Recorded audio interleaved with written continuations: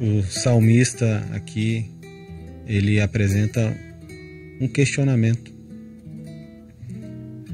perguntando o que, que ele pode dar ao Senhor por tudo que Deus tem feito.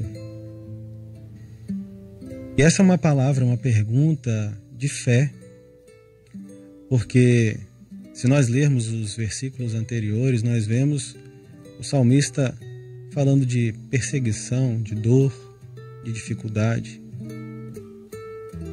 E mesmo assim ele questiona ao Senhor o que, que ele pode dar pelos benefícios. Luta muitas vezes é benefício, porque a luta nos aproxima do Senhor.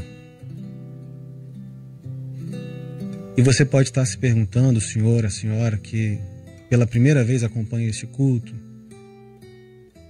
pode estar se questionando assim: é, eu já sei aonde esse, esse discurso vai parar.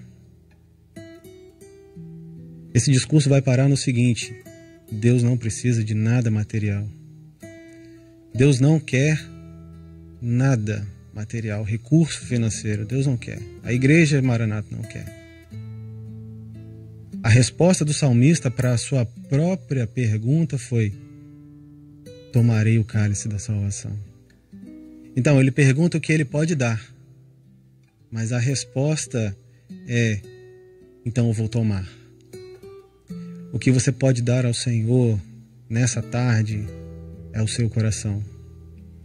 O único pedido que existe na Bíblia de Deus para o homem é: Filho meu, dá-me o teu coração. O Senhor está esperando única e exclusivamente você abrir a porta do seu coração. Esse mês da dedicação é o mês em que nós abrimos cada vez mais a porta dos nossos corações para o Senhor entrar e Ele realizar a obra dele nos nossos corações.